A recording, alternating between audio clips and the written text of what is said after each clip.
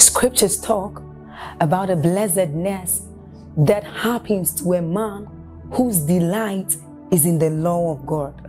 So, as 1 says, it says, But his delight is in the law of God, and doth he meditate day and night. He says that that man is like a tree planted by the rivers of water, whose leaves do not wither, and who bears fruit in every season. As you're about listening to this message, we believe that your life is going to be like that man planted by the rivers of water. Your leaves are forever going to bear. And we know that your, your season will not pass by. You will forever shine and you will forever bear fruit. We have a lot of content to share with you. So we would entreat you to subscribe to this channel as well as like us hit that notification bell to receive more updates from us because we know that whatever content here is going to set you on course at every time. It's going to make you attain whatever stature that Christ wants you to attain. Thank you. To trivialize, and we think that the activities of the kingdom must be done sensually. And so we preach sensually. We carry out all that we do sensually, but there is a spirit there is a spirit that is the one factor that makes ministry different from business or makes ministry different from a, a seminar right? That's the difference. We have lost this spirit in crusades. We have lost this spirit in conferences. And you see that people sit down and they never live with that transformation. Can i tell you something the ministration of the spirit is not just about understanding a topic. It's about the presence of God changing you. Meaning if we come here and all we do is to sing you should still live transformed. Because you see the the concept of transformation is not just about hearing words alone. When you are sitting in an atmosphere something begins to happen at once your convictions there is a shift there is an alignment that makes you and postures you to begin to receive of spiritual things. First john chapter 5 verse 11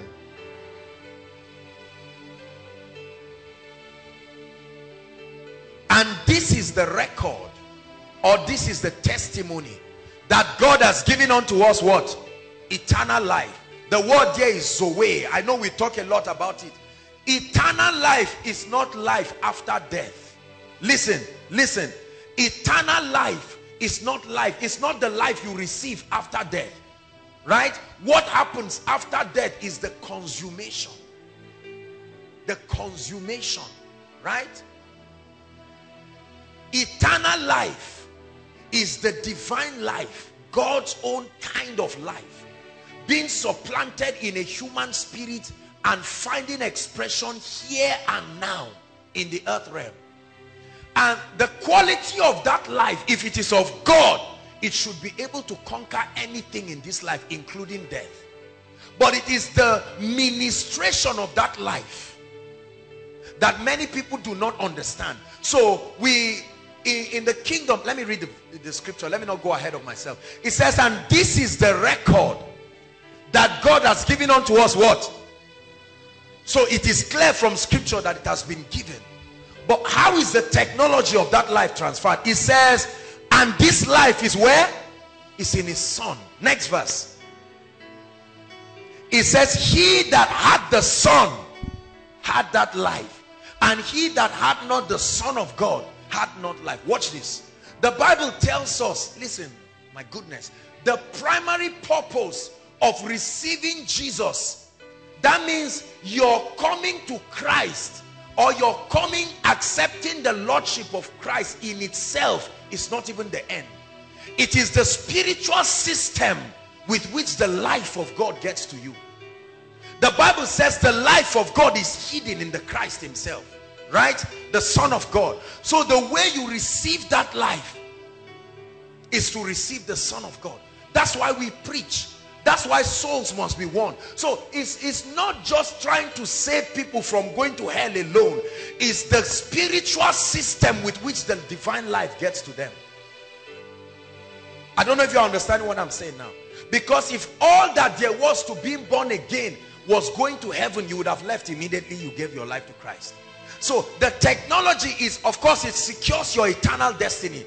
But the Bible says God gave us life. But that life is hidden in the Son himself. So that until you receive the Son, you cannot have life. Meaning you can be in church for years. Are you getting what I'm saying? Be around Christian people for years. But if you have not received the Son, it's impossible for you to have that life. There are all kinds of life. You can have your biological life.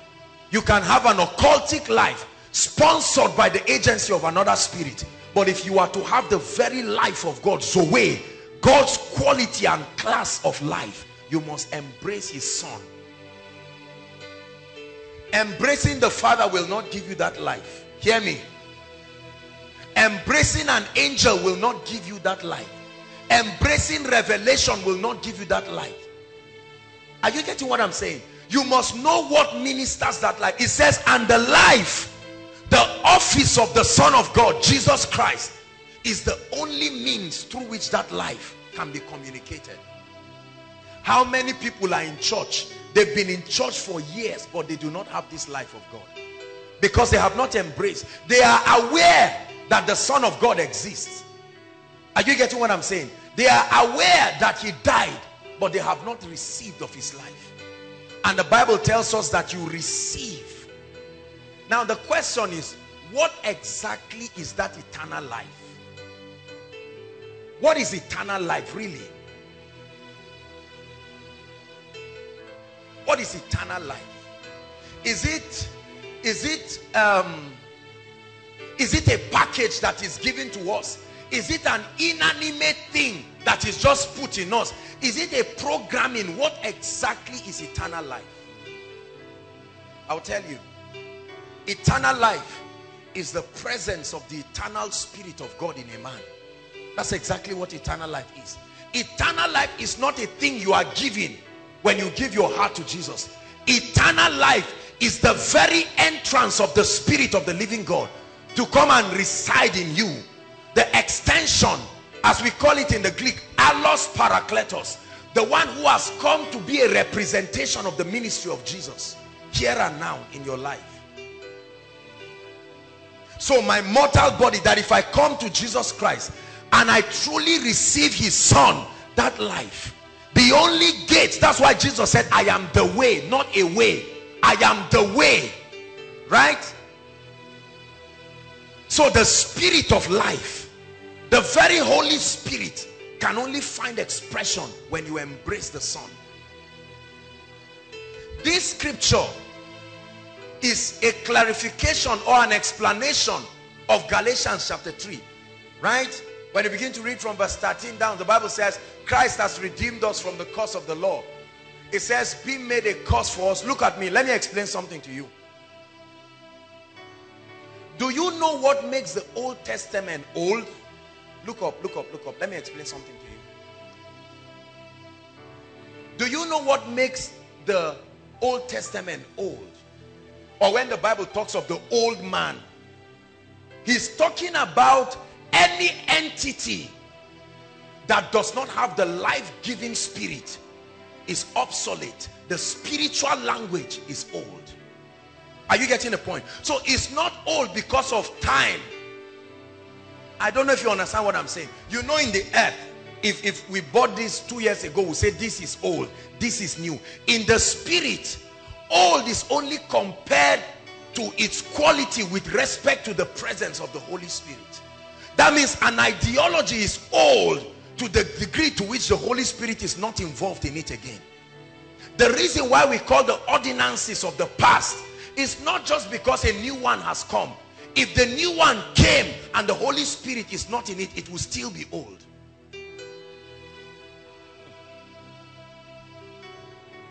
Are you getting what I'm saying now?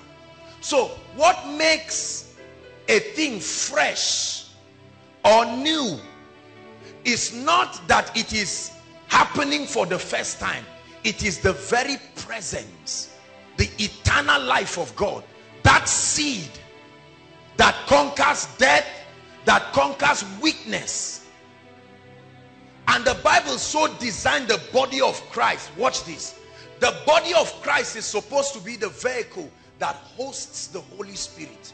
That's why the Bible says, for this cause, because people cannot discern the mystery, some are weak, some are sick, and some do sleep. Is that not in your Bible? He said there is a mystery of the body. The mystery of godliness, the Bible calls it. That Christ can dwell in a mortal body. He said if you do not discern it, you will be weak. You will be sick. And you can even sleep.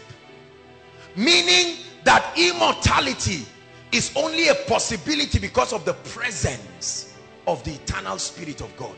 But the, the, the factor is this. Um, in the kingdom, there are two realities. I want you to write this down. What I'm teaching you tonight is powerful. You will walk in the glory of God in supernatural dimensions if you understand what I'm saying. There are two realities that every believer contends with or walks with. Number one is the reality in Christ. The reality in Christ. The beginning of the experience of the believer in the New Testament starts in Christ. Outside of Christ, there is no initiation into the realities of the New Testament, right? The, the, the whole New Testament starts the pivot on which our ministration of life is built upon is in Christ. In Christ. In Christ. In Christ. Never alone. For with God, all things are possible. Outside of him, many things are not possible. For in Christ, we are complete. For in Christ, we are perfected. Are you getting the point now? But then there are realities in Christ. For instance, we are seated in heavenly places, the Bible tells us, in Christ. The other reality is the experience of that truth here and now. The experience of that truth here and now. You can call it the reality in Christ and then the experiential reality.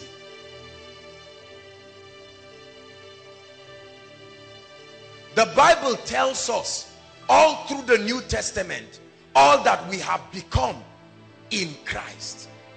Many times we do not understand why Apostle Paul, when he makes certain statements about the believer, he adds in Christ.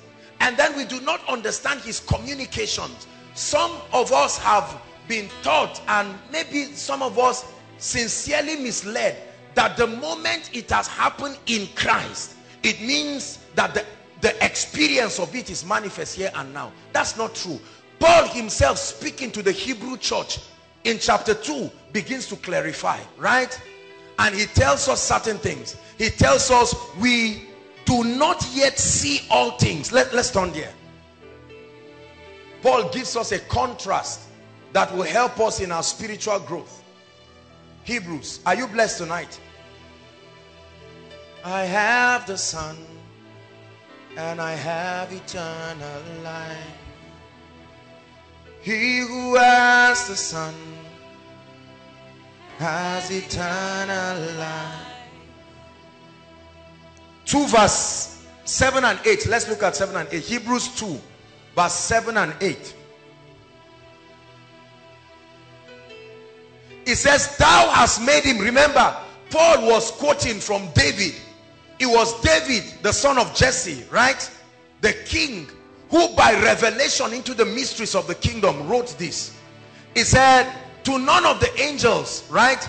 Has he said at any point, thou art my son, you know, this and that. He did not put the world in subjection to any angel. And then the Bible says, talking about man now, he said, you have made him, or in, in, in uh, talking about Jesus now in his earthly walk, he says, you have made him a little lower than the angels. The word there was mistranslated. It's supposed to be uh, angelio, not necessarily like the beings but it's an expression of God himself. Many times you see the Bible use the word angel to mean the very Lord himself. Is that not true? Many times in scripture, you will see that uh, at certain times the word angel is written in italics, meaning that there is more explanation to it. It doesn't mean an angel like a messenger from the presence of the Lord, but God himself. So it says, the word there is supposed to be, thou hast made him a little lower than Eloha, God himself, the Almighty. So Jesus lowered in rank for the purpose of coming to become a man in the earth. Right? It says, thou hast crowned him. Now he's talking about his coronation. This was the coronation that David saw. The Lord said to my Lord, right? Sit thou at my right hand until I make your enemies your footstool. So he says it here that thou crownest him with what? Glory and honor. And you did set him over the works of your hand. Verse 8. Thou hast put all things in subjection under his feet. For in that he put all things in subjection under him, he left nothing. That, listen, I hope you realize that in the New Testament, you are not anything until Christ is first it. Are you getting what I'm saying now? So every time you see the Bible talking about man, find out whether Christ has become that thing. If Christ has not become it, because he must be the firstborn in all things. Meaning the dimension that the Christ did not show us a possibility of getting, there is no point trying to get there. This is what I'm saying. Are you getting the point? We can contend even more than the earthwork of Jesus because he said this, Verily, verily, I say unto you, he that believes in me, is that not in your Bible? The works that I do. In other words, he said, my eternal life is not compressed to four gospels. If I stayed longer, I would have unveiled more possibilities. Now, if you have my life, I authorize you to keep exploring the possibilities. And immortality is one of the possibilities in that life. Divine health is one of the possibilities in that life. The ability to live supernatural, though natural, is one of the possibilities. We must be able to stretch the possibilities. What are the contents of this Zoe life? What does it consist of? What are the benefits? Why should I want to receive the life of God. It's like a product you are marketing to me. Convince me, why should I want it? What is the excellency of God's life over my natural life? Are you getting what I'm saying? So the Bible tells us, speaking about man, but that man was not just man like you. That man was first the man Christ. Are you getting what I'm saying now? I know that when you read this scripture, he says, who is man that thou art mindful of him? That man is not just talking about the natural man.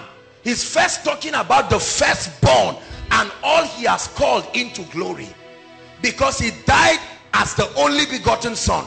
Then he resurrected as the first of the begotten. And from there he had 120 other begotten sons. And from there there are many begotten sons. So Jesus is no longer the only begotten son of the Father by the spirit of adoption we have come into that sonship too. Are you are you understanding what i'm teaching you? And so the bible tells us that when you receive of that son you receive of that life. That life is like a drug the presence of the holy spirit. The moment he finds expression certain reactions begin to happen. Watch this he opens you up to the realities. So jesus in the new testament becomes what we call our pattern man. Jesus came and worked for three and a half years to show us an example of what the zoe life is. Are you getting it? he was the first that opened us up to the possibility of the zoe life. So when we saw the things that he did we saw the mighty things that he did the first that had the spirit without measure and he did so many things. And then he told us that uh -uh, it is profitable for you that I go. For if I do not go I cannot send the comforter. He will come and continue. He will be an extension of my ministry. The Holy Spirit is to us today what Jesus was to the 12 disciples. Exactly what Jesus was to the 12 disciples the Holy Spirit is to us today. That's the reason why there are no three thrones in heaven there are only two thrones in heaven but we agree that there is the Father, the Son, and the Holy Spirit because the third throne is in us. There is a marriage that has been done, never to be separated again. Are you, are you getting that now? It is him that takes us to the God class. The presence of the Holy Spirit.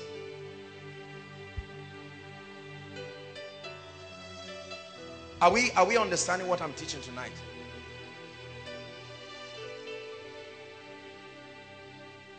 So the realities in Christ and then our experience of that reality. The Bible says something very powerful here. It said, thou hast put all things in subjection under his feet, right?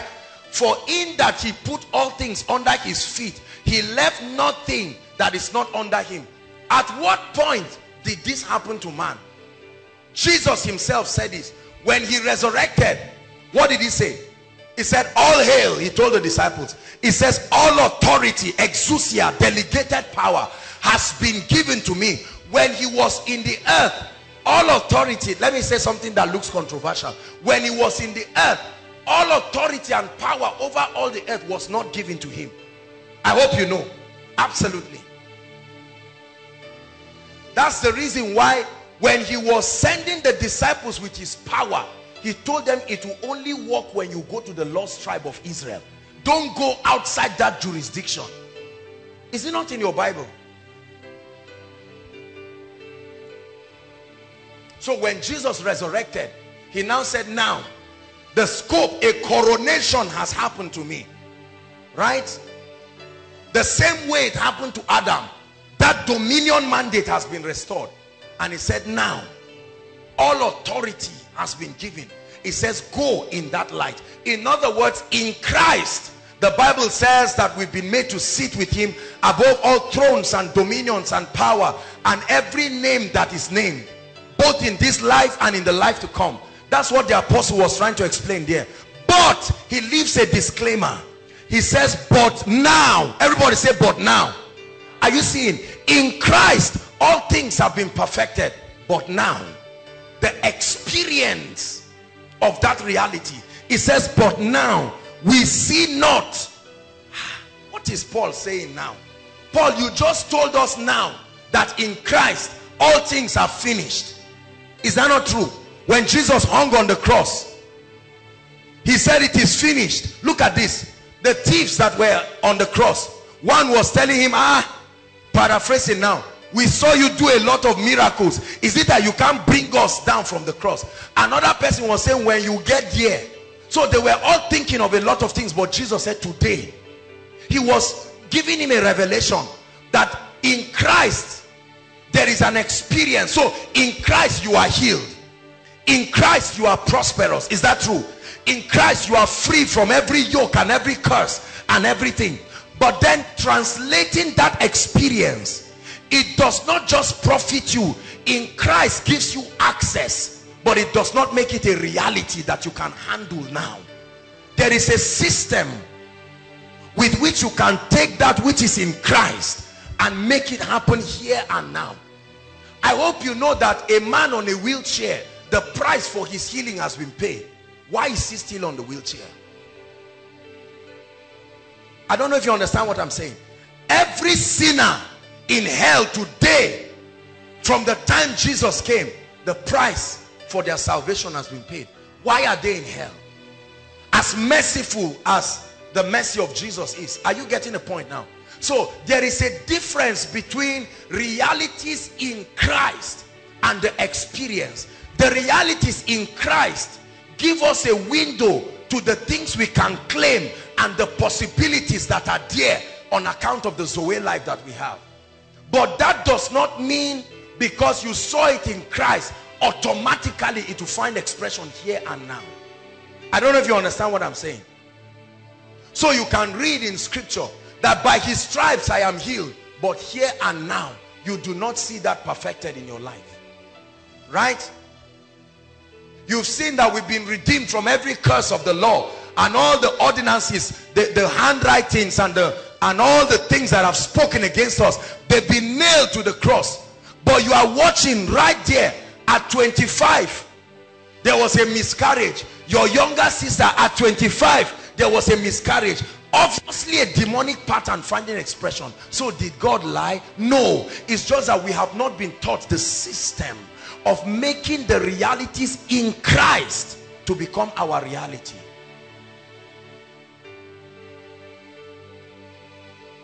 is god speaking to us now?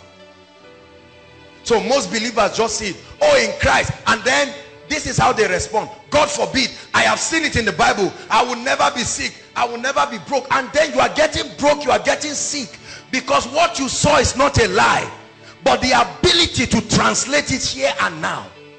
Have many people not read that this sign shall follow them that believe?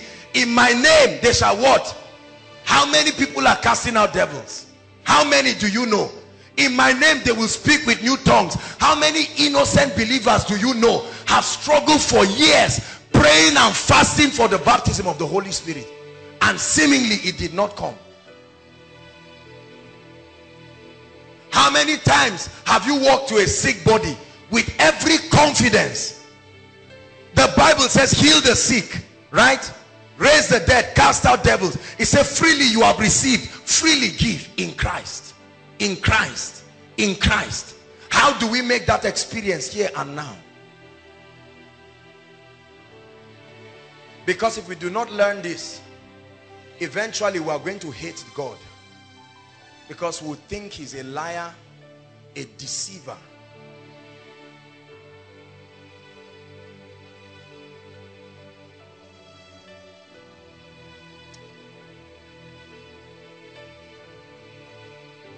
I'm very concerned, let me tell you sincerely, at how distant we are from the things we talk about, the things we claim, and the experience of the same. Are you getting what I'm saying? There is too much talk in the body of Christ. We must humble ourselves and admit that there are certain things we do not yet understand because there is too much talk about who God is, what he can do. We make such bold statements about God. But when it comes to bringing God in the scene, bringing his power here and now, we begin to find theological explanations to excuse ourselves. The Bible says, for instance, Jesus Christ, the same when? Today and forever. How many preachers do you know have said that? How many of us men of God have said that? How many of us have been able to reproduce that reality? We must admit that there is something we are not understanding. We must admit that there is a dimension of spiritual reality we are missing. And let me tell you where we are missing it. This is it. Romans chapter 8. Let me tell you where we are missing it very seriously. And if we do not change, a lot is going to go wrong.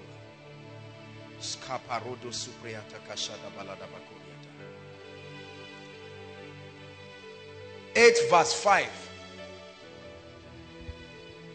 8 verse 5.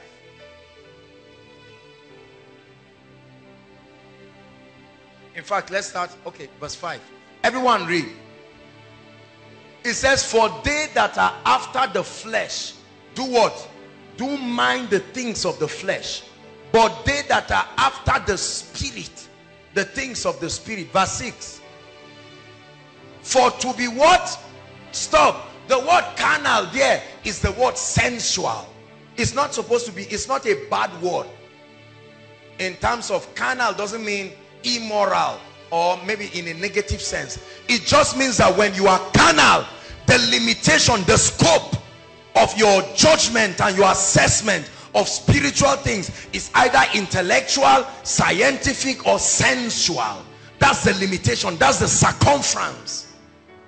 It says to be carnally minded. Whoever lives his life from that standpoint, that your perspective about life is just how one plus one will become two. It must be logical.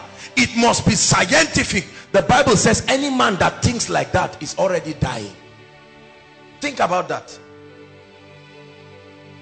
It says for to be carnally minded is what? Dead. But to be spiritually minded is life and peace. So a man can watch oppression in his life and say, no, I went to school. What, what sort of oppression? I mean, if, if you fail, you fail. It's not any demon, anything. You see that? And then he does not know that the whole world lies in wickedness. That all that you see is not all that there is.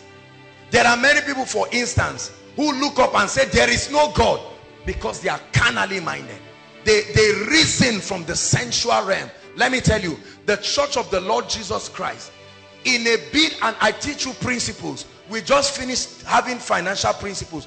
But in a bid to break life down into an understandable format, we are gradually coming down from that height of spirituality to reduce God into a carnal mathematical formula.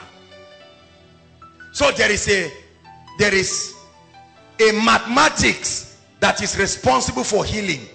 There is a mathematics that is responsible for a and b and c. And then we throw the holy spirit out and gather those informations and feel on the strength of these informations i can make it. Yet the bible says all scripture was inspired was written right by the inspiration of who? The holy ghost the very spirit of life the spirit of truth the one that was sent to make the reality of this divine life true in us. We have thrown him away and we have reduced everything. If you cannot explain it like mathematics i don't believe i don't understand i throw it away. It's gradually destroying us. Even our presentation of the gospel we are seeking to make sinners as though the gospel is not supernatural. We try to beat it down and make it as mathematical as possible. Whereas the bible tells us that as you are speaking to people the law of the spirit of life is supplanting the law of sin and death. How do you explain that mathematically? So there are people carrying all kinds of demonic substances and all medicine can tell you is this is this this is that. You see it happens at times. There are women who based on the way they are formed they don't have wombs. You just happen to be one of them. God is faithful and all of that. And then you sit down and believe that that's how it is. The bible says to be carnally minded. Let me tell you the truth. If we do not grow i'm not against intellectualism right? There's always that saying that you should not be so heavenly minded that you are of no earthly relevance. Um, that is true. But if you are truly spiritually minded you cannot be irrelevant to the earth. Are you getting what i'm saying? See i read books i i have studied a lot of people. There is no man who walks based on the truth of this scripture that will be irrelevant in this life. This is the dispensation of spiritual men. We have left dispensation of physical strength of giants.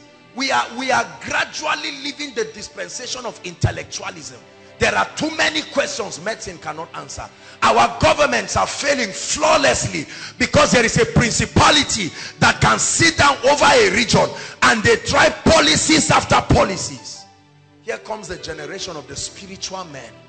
Those who can tell the government you have done all you know to do. Can you finally pay attention to us? Those who changed the world in the bible were not just foolish people just intellectualizing everything these were men. Daniel. Daniel for instance he understood that persia there was a spiritual host of wickedness around that territory and he knew the key to sustaining a smooth flow of that government was prayer. The moment he prayed the spirits of the Medes and the Persians were disturbed and they used individuals to pass a government policy. Don't pray just for 30 days. Can you imagine just 30 days of no prayer and we will wreck Babylon. And the king passed it and Daniel said no I'm a spiritual man. I'm not just I, I know I'm intelligent. I'm a government representative but I remember the prayer of my fathers. I, I, are you getting the point? I remember the temple of Solomon. It was Solomon while dedicating the temple. Part of his request he said Lord whoever faces this temple and prays hearken to them and he opened his window towards Jerusalem He said, I know I'm intellectual, but I'm not so stupid. I know the mystery that brought me to this palace. Because I came as a captive. There was a mystery beyond mathematics that brought me here. And then they caught him. I can imagine other people saying, well, you claim everything is God, God, God, God. God, now let God save you. And the lions were roaring. Brothers and sisters, that was physical. The lion is a fierce beast. But there was going to be a playing of the spiritual. The superiority, the excellency of the spiritual. As soon as he stepped in, an angel came. Said, Daniel, so you have not forgotten. You have not forgotten where you come from. How many of us have forgotten? You see that? There are so many people. Talk about God right now. They become irritated. If you talk in church, it's okay. But you talk about God outside to people, they just say, I beg, Jare, you are talking business. You are trying to scatter everything. As though God is the reason why all things will not work. Let me tell you. If you ignore God in any aspect of your life, get set for a shock. Because the realm of the spirit is still alive and strong. How many ladies think they will marry because they are fine? They get up around, they don't pray, they don't listen, they say, God forbid me. I know that, I know what God gave me. Be celebrating there until you find out that you are 45 years and as pretty as you are because there, there are realities in the spirit, my brothers and sisters. There are realities. I got a testimony from, I got a testimony from um, administration we went for in Kaduna that, that, that blessed me. One of the pastors um, came over to my place yesterday and he was telling me, when I went for the meeting, a woman was pregnant. Brothers and sisters, watch this. At least biology tells us, I'm not a doctor. There are doctors here. Um, so how the child is supposed to be formed. Eventually, for reasons they cannot explain, the child started turning mysteriously. No, the child did not turn mysteriously. Something turned it. Let me tell you, the oldest man in the earth is not up to 120. There are spirits that are millions of years. You call Satan a liar, you are right. You call him a deceiver, you are right. You call him a fool, you are very wrong. Satan is old. Are you hearing that? Absolutely. You know, sometimes the way people just talk, me, God forbid, your spirit can do this and that and that. It's not all about this. It's not. And, and while you are talking, the realm of the spirit is just watching you. How old? Do you know in Bible days, all of us are not even up to teenagers right now? Right? Yet, the ancient spirit of God gives us a prescription about how to live. And he says, if you want life and peace, be spiritually minded be spiritually minded. Do not let education, do not let intellectualism, money or anything take away that spiritual factor. It has nothing to do with a man of God. It is the key to life and peace. We have thrown the Holy Spirit. We feel he's only relevant in church, right? So when you go to your job and all of that, people say, now let's let's let's be real. Let's be real. While the Bible says, I am the truth. I am reality.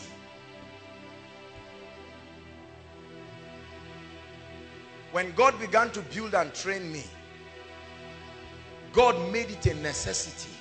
And he let me know that forever in my earth walk, the Holy Spirit will be and will remain the mystery behind any impact any transformation. You see that? For me, the spirit of the living God is not just one nuisance that you have to embrace so that God will like you. He is what you call eternal life. If you are not aware of that, be aware. Eternal life is not what he brings. His very presence is the life of God. Jesus never became the Christ. He was the son of the carpenter he could die. That's why his parents ran away with him. But when the spirit of God came he made him the Christ. So when the Bible says in Christ it's not just saying in Jesus alone. In Jesus yes but together with the spirit of life.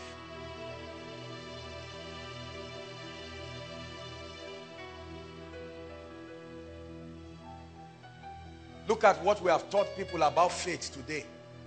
Look at the, the nonsense that goes on in the body of Christ that we call faith. Right? We teach people all kinds of experiences as if it's voodoo. That's why it's not working. Let me tell you, faith is a product of an encounter. When the Bible says faith comes by hearing, do you hear what you read? Answer me. You see, we need to examine. It was talk, it was a spiritual language. It was not even just talking about hearing with the ear. There is a quality of spiritual perception that an encounter brings. And that's what produces true faith. Because when the Bible says hearing and hearing by the word, at that time, there was no books like this. King James had not authorized this. So what did they call the word?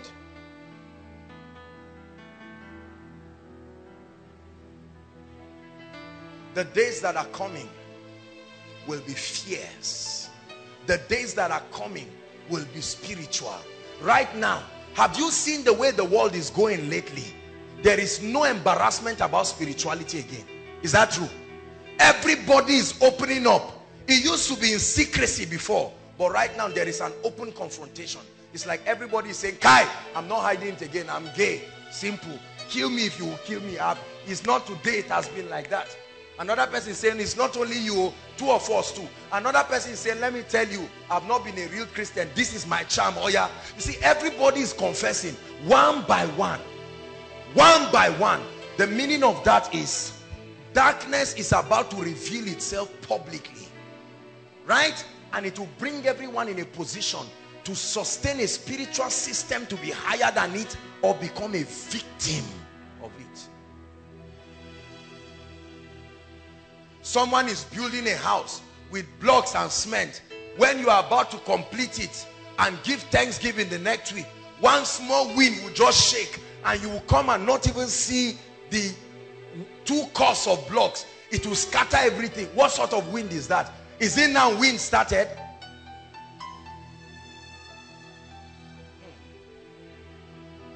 How many hurricanes are on right now? And scientists say they watch from space that before the hurricanes comes they see images of spirits doing things from the sea. Minutes later you see all the animals running. They are still spiritual except human beings. Disaster hardly meets animals there. They run away and leave us. We are there trying to make money. We are there and we are dying like chickens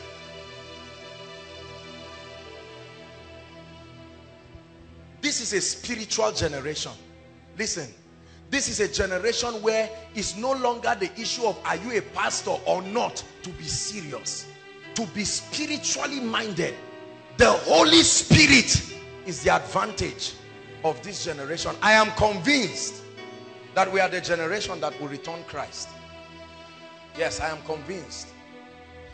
The Bible specifically talks about a number of things that as we call it, that omega generation. There are certain happenings that will characterize our generation. Hallelujah. That we discern spiritual things. Let me give you an instance. Hold on, let me explain something. How many people in church today have thrown away the sacredness of being a man of God and the fivefold ministry in an attempt to balance these bossy things men of God do on stage, right? There are so many people who now challenge their pastors, challenge everybody. Are you the only one who will preach? Are you the only one? We have a democratic church that can vote out, throw out pastors because of policies. Have you read in First Samuel? I can't remember. I think maybe chapter 15 or 13. One time when Saul, is that true? When Samuel told Saul that they should go and have a solemn assembly, is that true? He was coming to make a sacrifice. They gathered the people. It's in your Bible. And then Saul told, I mean, Samuel said he's coming at so and so time. And he didn't come. And they waited for him. They waited for him. They waited for him. After they waited for him, people were scattering. And the ego of the king, Saul, was, was at stake. And he said, Kai, this guy is not coming. Let me what? Offer the burnt offering. As soon as he offered the burnt offering, Samuel came. And he said, well, uh, I'm, I'm sorry, honestly. I was afraid. It's not like I wanted, I me too, I didn't want to do it. The people were disturbing me and since you were not around, I thought since I was a king, let me do it. And Samuel said, you have done foolishly. He said, if you had allowed me to come, God would have established your throne. So it would have now be son of Saul, not son of David. He said, because you have done this, the kingdom is taken to you. For God has found another man after his heart. Just for violating the priesthood. How many people violate the priesthood today and they don't care? Right? All kinds of people. Any man can get up at any point, lambast any man of God, write any article and speak and believe he will go scot-free. Go and read your Bible. It's because we have become carnally minded. We don't even know what it means to be a man of God. We think being a man of God is choosing the vocation of preaching. Right? So that when one work or the other doesn't work, or maybe you read something that you felt is, is not lucrative, you just say, oh, it's okay, at least you are preaching. You see, this is our mindset. So we do not, we have thrown the sacredness that is in the altar. There were times in the Bible that when a priest and a prophet was not available to do certain things, they left it there. Have you read about Uzzah in the Bible? I'm showing you how we have fallen from understanding spiritual standards. The Bible says we do not discern the body of Christ. And many people have received casualties because we do not know how the body was supposed to operate. Right? Remember that there was a time when the ark of God was being carried back and then he was about to fall and an innocent man called Uzzah for his sincere love for God wanted to run and just block the ark. What happened to him? He died instantly. Have you read your Bible when Miriam and Aaron looked at their brother and said, Kai, see you, you are our younger brother. Don't open eye for us here. Is it only you that God will speak to? Huh?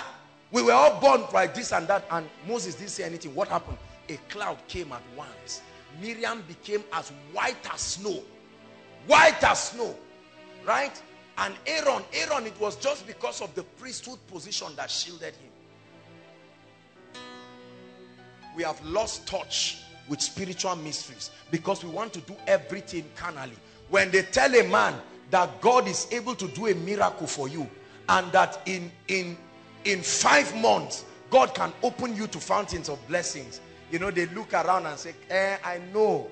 It's not like I'm saying God cannot do it, but you see, we have to calculate how A will become B and how C will become D. Look at how people try to run ministry today, right?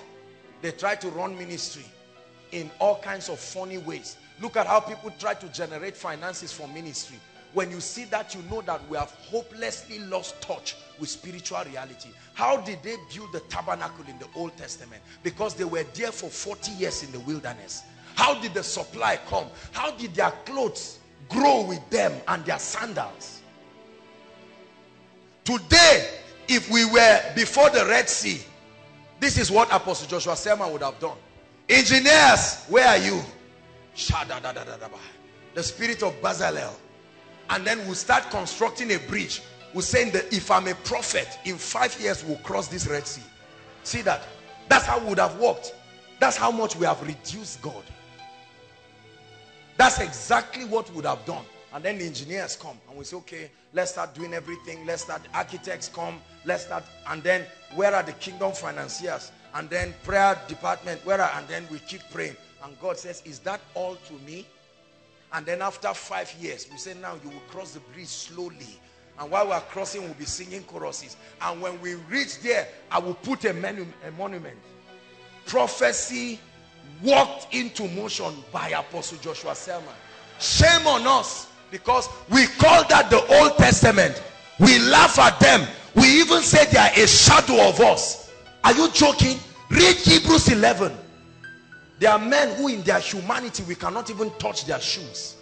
Yet that's the Old Testament. We are very quick to say it's old. We have done away with it. But we have not done one tenth of the things that they have done. It's in your Bible. People invoke angels to use hailstone and stone their enemies. When was the last time you saw that? When was the last time you saw angels pursuing Boko Haram with hailstones? You are laughing. It's a serious thing. Look at bomb blasts happening on around. And there are men of God all around. And we claim we are anointed. They even put it on our posters when they invite us. Anointed man. Joshua Selman. Shame on us. Let me tell you.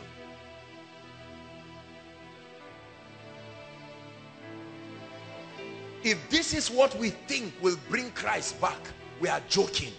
How many barren women have we been unable to solve their problems? Look at, look at Jesus. Jesus inspires me. These guys who were with the guy that was crippled, they knew that if they could only see Jesus, that situation will be over. Is it not in your Bible? And they said, let's tear this man's ceiling. We will explain it to him afterwards. Today we brag and compare ourselves with ourselves. Is that true? And do a lot of carnal things there is almost no difference between what we do and the supernatural or and, and, and, and, and that of unbelievers. If I stand right now and I minister to Sam and he falls under the anointing people shamefully write an article and say he's using witchcraft. Where did we leave our spirituality? Is it not in your Bible that Jesus with the divine light walked through people on a cliff? They were trying to kill him. He walked through them like a spirit. Where is that generation I wanted to show us a video. It's just that um, we, we, we didn't have it. I didn't discuss with the media. Would have shown us that video um, of Patricia King, right? I know they don't have it. They may not have it now. Otherwise, you would have watched the video where oil was coming directly from heaven. Real oil, physical oil. You would have seen the foot of real angels. That you are not pressing into God doesn't mean some other people are not.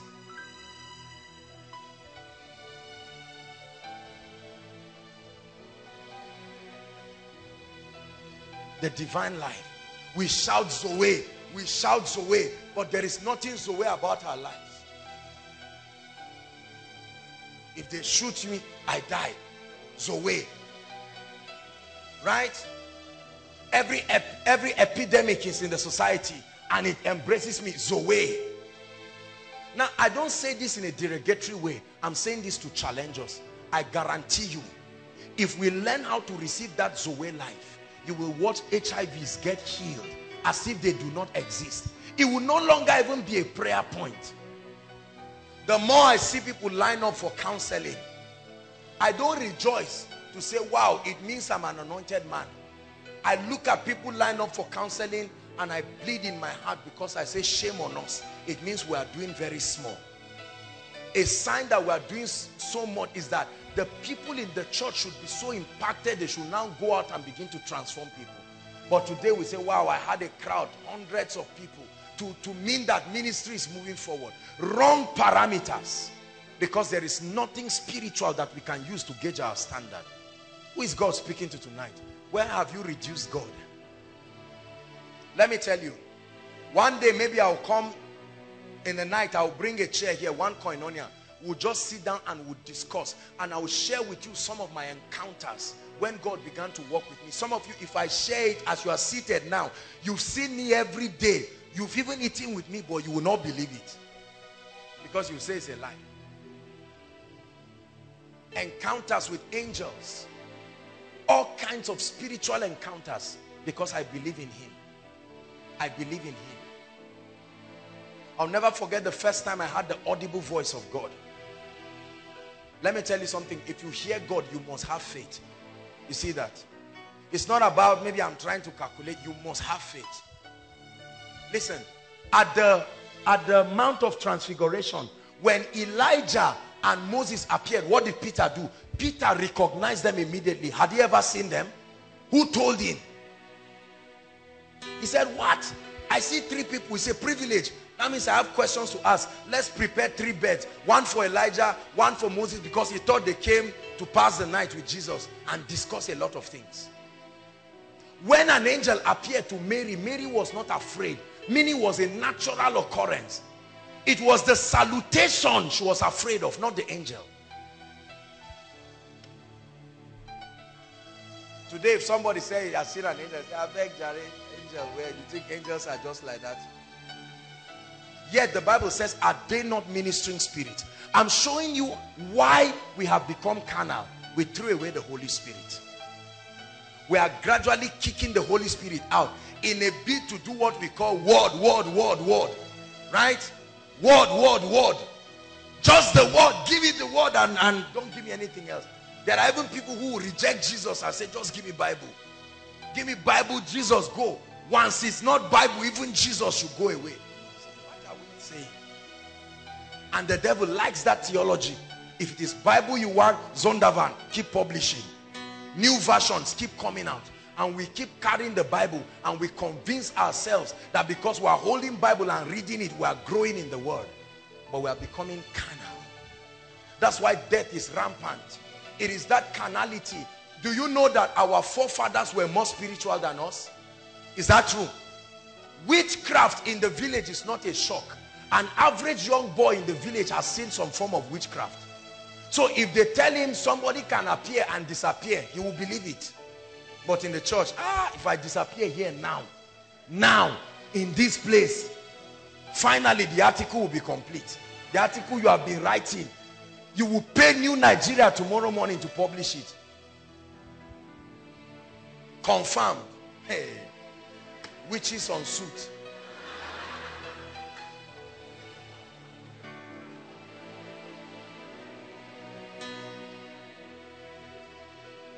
Yet we talk about the mighty army that is rising up. Mighty army. Where is the army?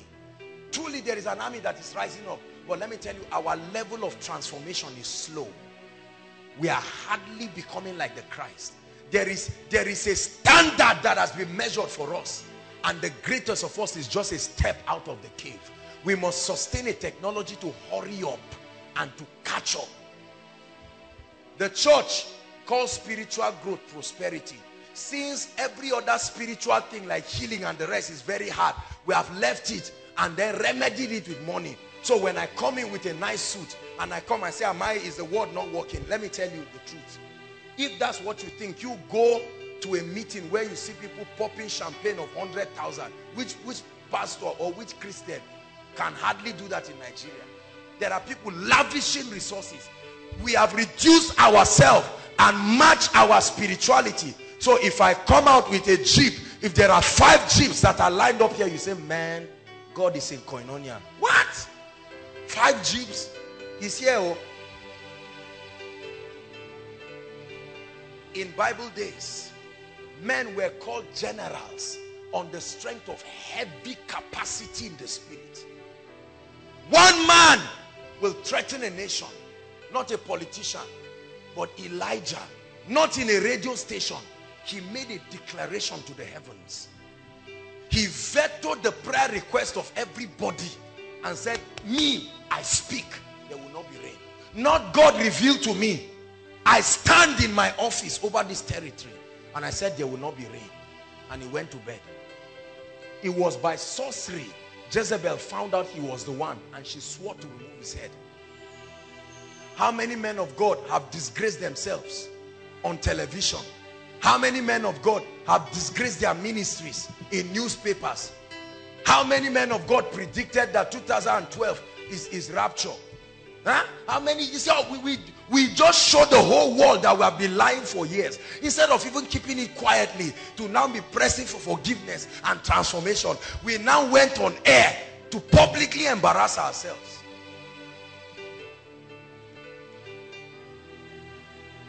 It's gotta be more, gotta be more. It's gotta be more than this. There's gotta be more, gotta be more. There's gotta be more. Today, people talk about the anointing, but they do not even know what the anointing is. No, at all. I tell you, many people do not even know what the anointing is. We have reduced God to prosperity because that's the only physical show of progress. Right? We have left the harder ones like healings and speakings over nations and forcefully bringing people to the cross. those ones are very intricate you can't fake those ones so we have thrown them and then we ran to the easy ones we made money and make two and two together and then we now say it's working it's not working no we have to admit this thing and press into God part of my goals in life is to so align to the Holy Spirit that my life becomes a true expression of the divine life. I was told about one or two cases of some women here in this place who are here right now. Right? I think one of them is a miscarriage issue. I'll minister to her shortly. And then another person. The question is if that happens in your church what will you tell them? I know what you will tell them. I know what you will tell them.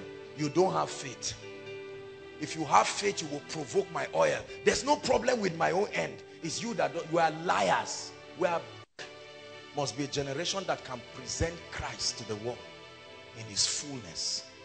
I truly believe I will be part of those people. With all my heart.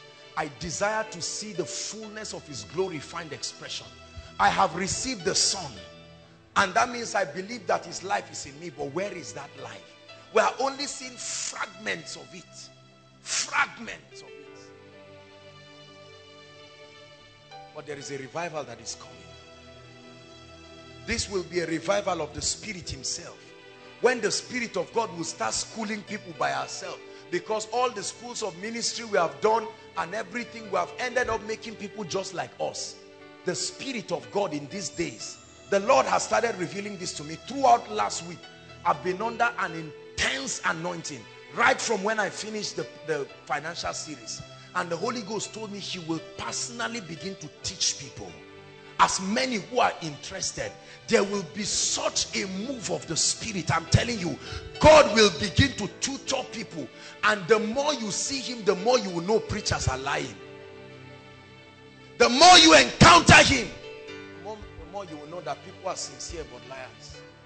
The lord is revealing this to me. This is how god trained me god taught me so many things secrets in the bible there are times that i will the Lord will be visiting me and his presence, physical cloud. I'm not talking of some spooky vision that people lie about. Real cloud like a fog will fill the room and I'll lie down there and the pages of my Bible will be turning by themselves to certain scriptures. I hope you believe it. Hallelujah. We have reduced God we have reduced God. Is this is too bad. To an extent that if somebody on a wheelchair stands up, people look and they say, Kai, who knows him? Look at how you put pressure on men of God. People come for miracle service, we have to be asking them, where are you coming from? So that you don't think that they organize things around. It's a shame. It's a shame.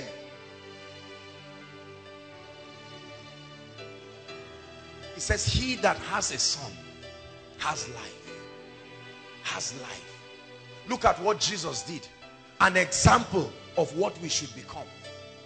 Jesus five loaves and two fish he multiplied it.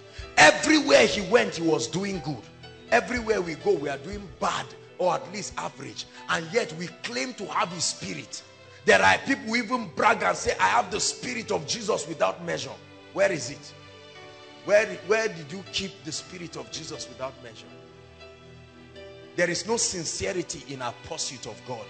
We tell a lot of lies. I was teaching a school of ministry students yesterday and I was telling them that the reason why many people do not grow is because we lie. I can fake it now and say there's somebody here you have a stomach ache and somebody will arise and because I did not minister in truth my lie will do you know that you can lie for a long time until it looks like the truth to you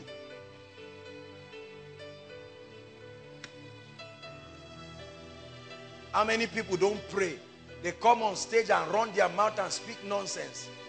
I am a prayer warrior. But there is a, there is a touch of the throne that comes on every man of prayer. It follows their teachings. It's like a spirit. It's like a finishing on your words. If you are a man of the altar, it truly, that fire is not just the shouting. There is a communication of life. How many people claim they are prayer warriors? And they stand and speak and while they are speaking you die spiritually until you start sleeping physically Because there is no life that is coming. The question God is asking you is why did you stop believing in me? Many of us did not start like this. God is speaking to us. Many of us, when we started, we were spiritual. We meant business with God. Eventually, as we started getting some results in our lives, we have thrown the Holy Spirit out. Now we are left with letters, convincing ourselves that because we are reading scriptures, it means we are growing spiritually. Do you not see the need in our world today? There are people with HIV, cancer. There are people in need of the Zoe life that we claim to have.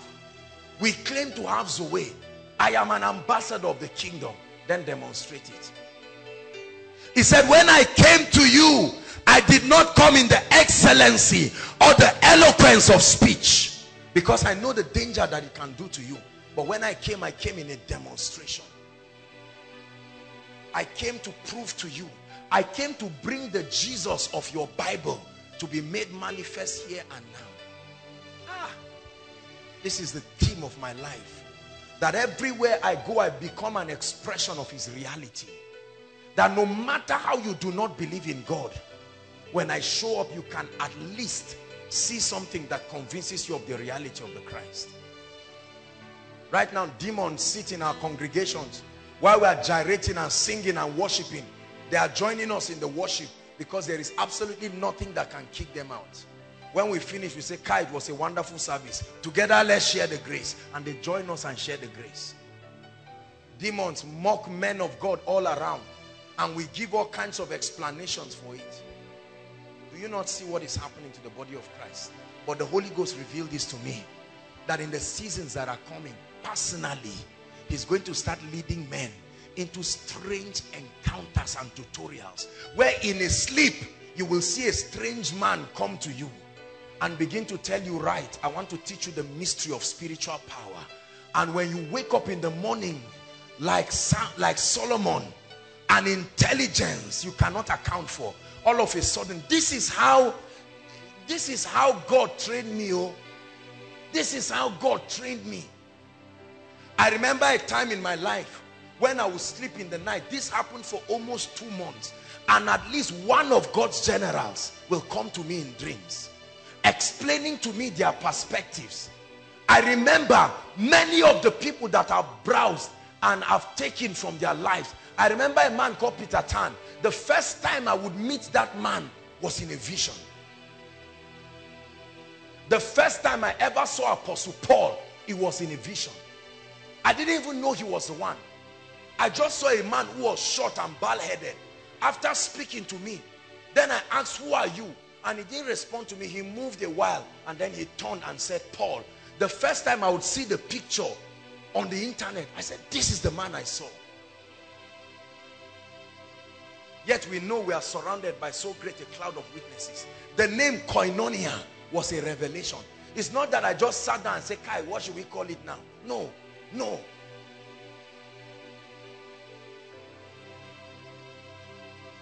Right now, everything we do is sensual and carnal.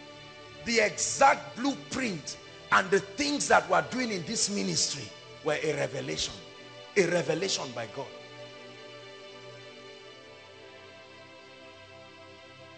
It was the Spirit of God that revealed to me the secret of church growth. Now, I'm not saying I'm throwing away materials and all of that. It's good. I've, I've, I've taught us to build ourselves. But I'm saying, Koinonia, hear me. If we throw away the Holy Spirit, the Spirit of God. Let me have somebody here, just one person, anybody. You're a visitor, you're a pastor,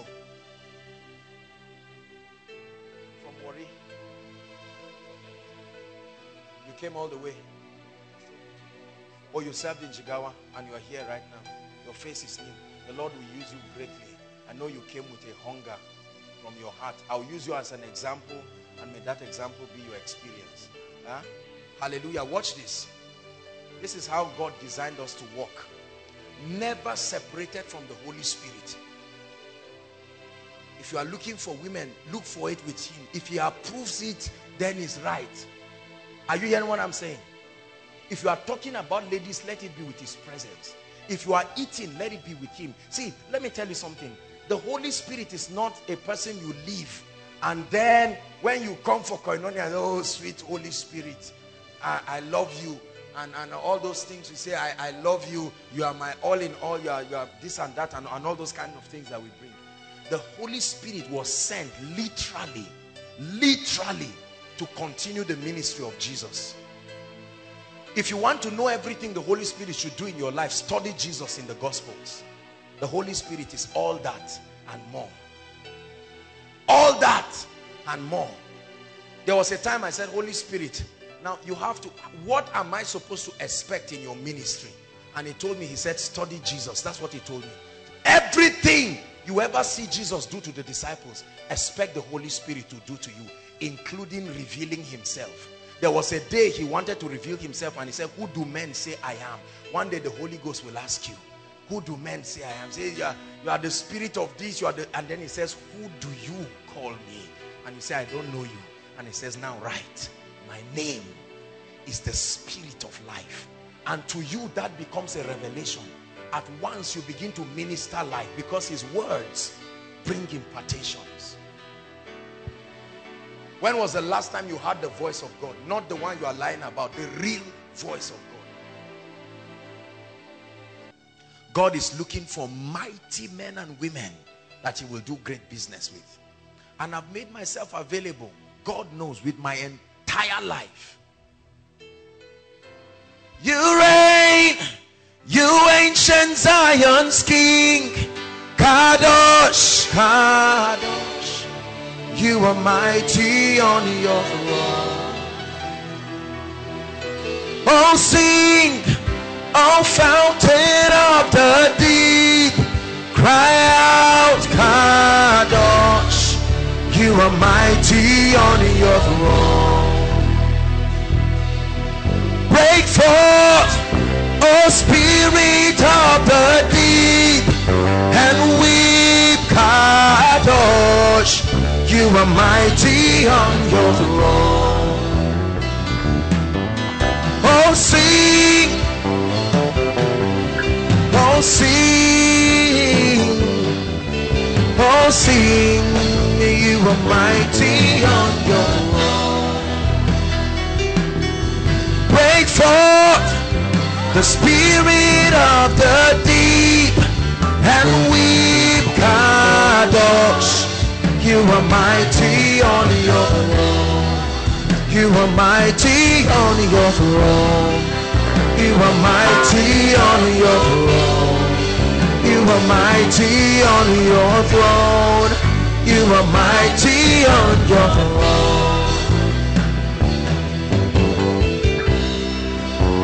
Are mighty on your. You are mighty on your throne.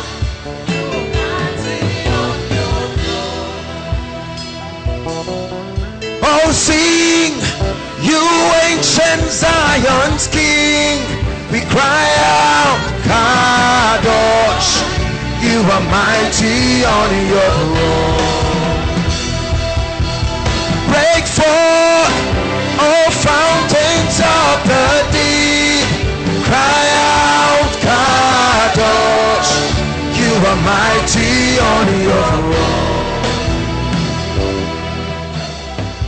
Lord, this is a cry from a generation that is desperate to see your power and your glory. We're tired of church and religion. We want to see the kingdom come. We want to see his power revealed. The reality of the Zoe life, the divine life, the incorruptible seed of the word of God. We want to become epistles of power break forth, oh Spirit of the deep. Cry out, Kadosh, you are mighty on your throne. Oh, sing, you ancient Zion's king, cry out, Kadosh. You are mighty on your throne. Break forth, O fountains of the deep, cry out, Kadosh. You are mighty on your throne. Say, you are mighty on your throne. You are mighty on your throne. You are mighty on your throne. You are mighty on your throne. You are mighty on your throne. You are mighty on your throne. You are mighty on your throne. We refuse to reduce your power. We step up the standard. Mighty on your throne. Mighty on your throne. You are mighty on Hey, you are mighty on your. You are mighty on your throne. You are mighty on your throne. You are mighty on your throne. You are mighty on your throne. You are mighty on your throne. Are mighty on your throne.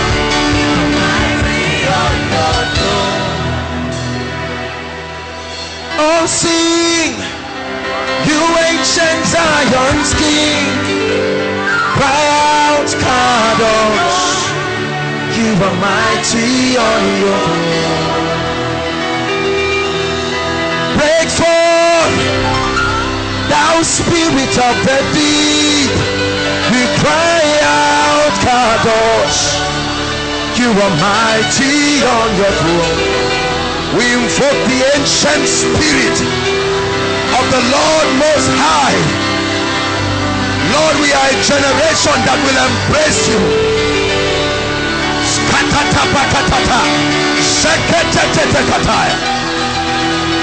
Break forth, you ancient Zion's King. Cry out, Kadosh. You are mighty on your throne. Oh, sing, you ancient Zion's King. Cry out, Kadosh. We cry out, Kadosh.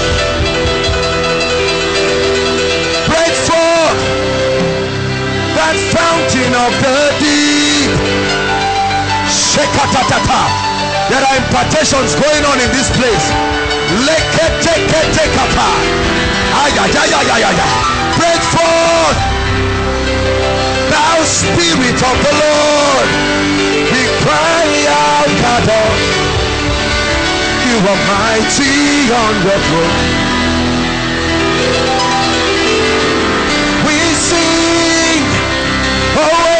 Zion's King. We cry out, Kadosh. We cry out, God.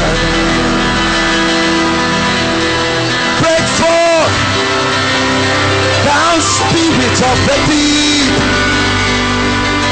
the spirit of revival, apostolic signs and wonders, the spirit of prophecy, the spirit of power, the spirit of territorial impact, the spirit of encounters, open visions, visions of heaven. Break forth, thou spirit of the deep, cry Kadosh. You are mighty on your throne.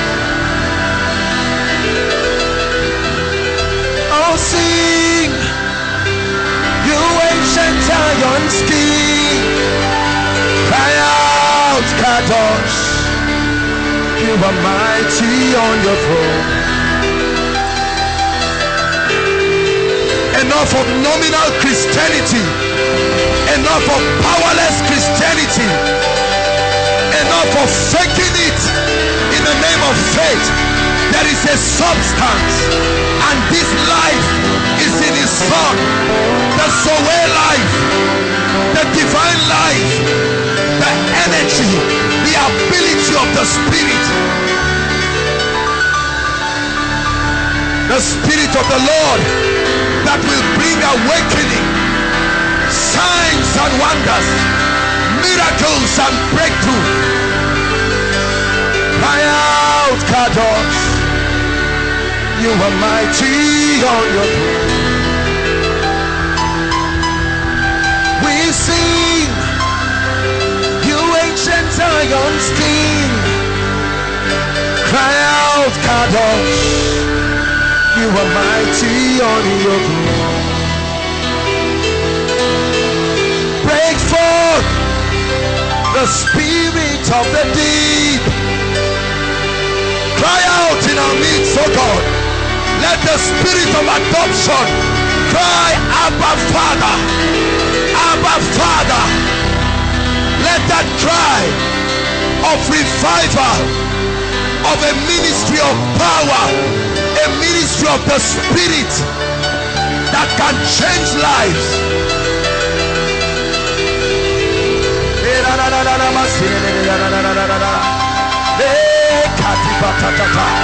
We will not deviate from the path of the apostles. We will not deviate from the path of the prophets. We will not deviate from the path of spiritual progress. We will not deviate. We refuse to bend. We refuse to conform to the powerless dissertations of men. You are mighty on your throne. You are mighty on your throne. You are mighty on your throne. You are mighty on your throne. Say, you are mighty on your throne.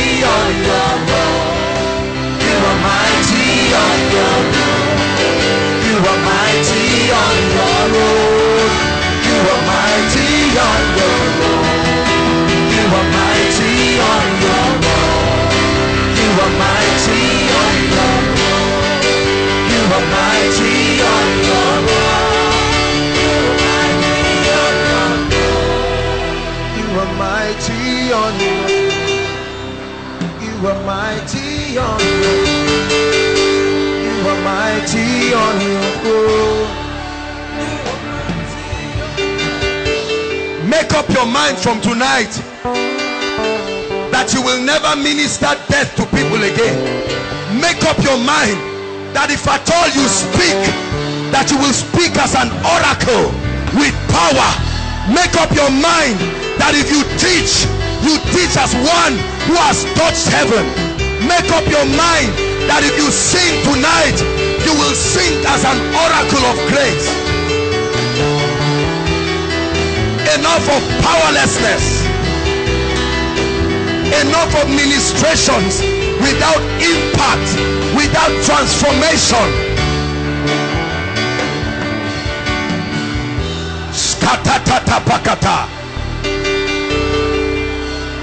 Press for one minute. We'll soon round up, but press.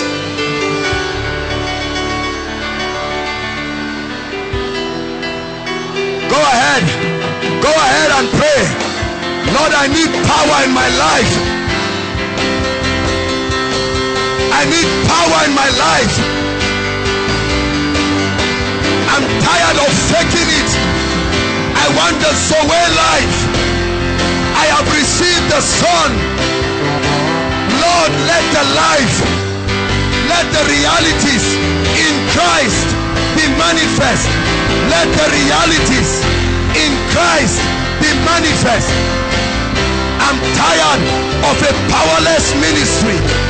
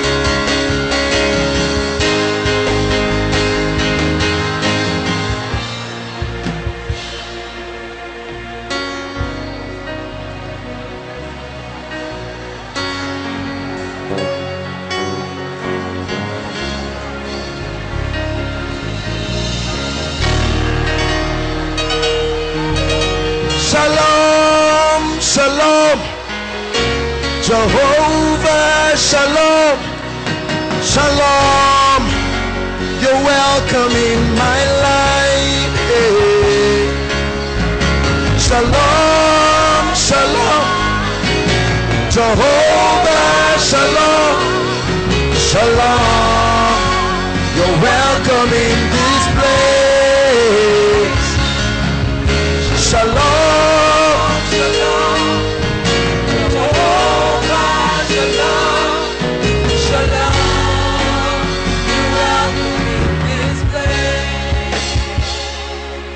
You must walk conscious. From today, if you have received the Son, I want you to know that there is a life in you. Crying for expression. There is a divine life that can heal the sick. There is a divine life that can cast out devils. There is a divine life that can change hopeless situations. There is a divine life that can bring God to the sea. Stop preaching powerless sermons. Stop teaching just theology without grace. Stop exciting the people of God with no results in their lives.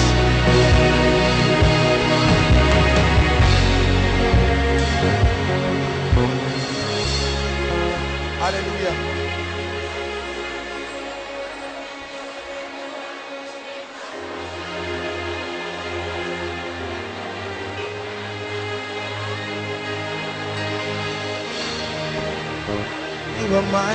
On your throne.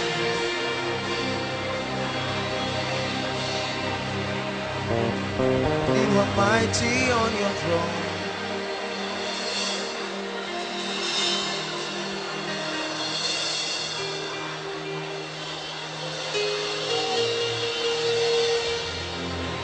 Lift your voice and pray in one minute.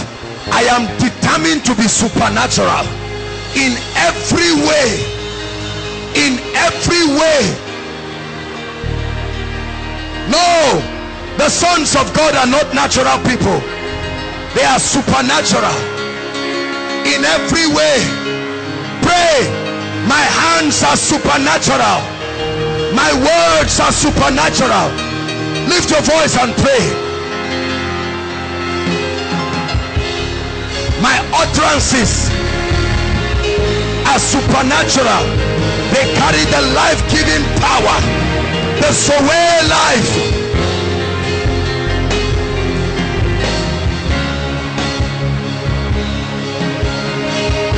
the power to heal the power to alter the destinies of people the power to transform their lives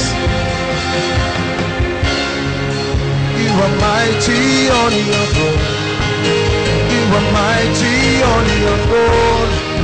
You are mighty in my life. You are mighty in my life. You are mighty in my life. You are mighty in my life. You are mighty in my life. Say, you are mighty in my life. You are mighty in my life. You are mighty in my life. You are mighty in my life.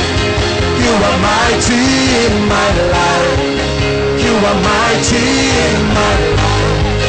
You are mighty in my life. You are mighty in my life. One more time. You are mighty in my life. You are mighty in my life. You are mighty in my I pray for you in the name of the Lord Jesus Christ. That from today, dead religion will die out of your life. I pray for you that the substance of spiritual reality, that which authenticates the manifestation of the Zoe life, that which proves here and now that you are not natural, that which proves that the earthly, the terrestrial has become celestial and heavenly. I pray in the name of Jesus that may that life begin to manifest through your life. That your hands will become instruments of revival and signs and wonders. That when men need God to show up they will call on your attention because you will be the clearest representation of the divine life in your territory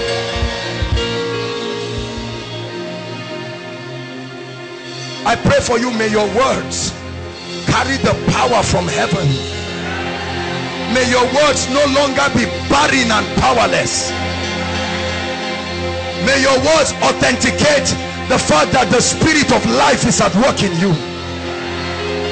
May they bring healing. May the words bring grace. May they bring life.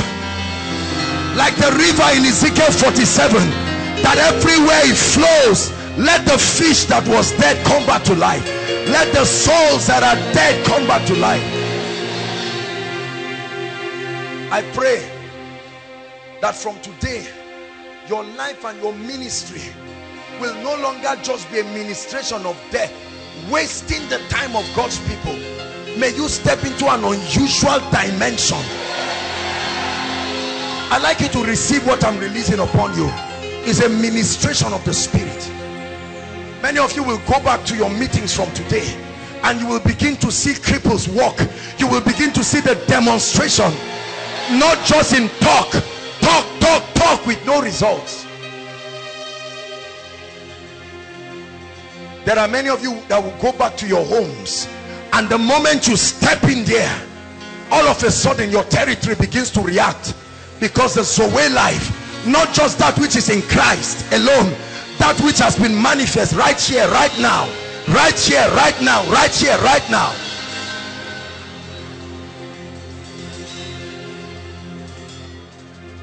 You will go back to your territories.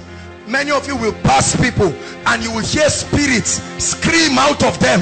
You didn't plan to pray for them but you took the presence of God. You took the life of heaven. Zoe the life that controls heaven. Zoe the life that upholds all things.